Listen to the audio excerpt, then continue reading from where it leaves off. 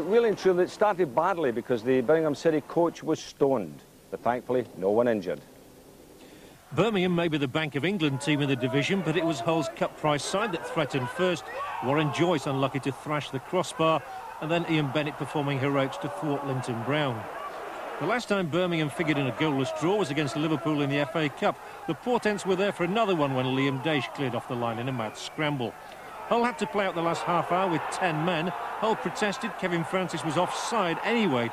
And then to add insult to injury, they were infuriated when Gary Hobson's tussle with the league's tallest striker ended with a red card. Francis, so often a thorn in Hull's side during his Stockport days, was in the thick of it again. Alan Fettis' slip may have been punished, but Francis hit a feeble shot. Andy Saville couldn't convert the cross. Birmingham favourites to win promotion, but Jimmy Graham headed off the line to leave manager Terry Dolan a proud man. We've got a small squad, but we fight like hell, and that makes a big difference. And I've just said to the press guys that, all right, Birmingham's team has cost over three million. Ours has cost about 60,000. I'm quite happy that I'm in charge of the players that we've got.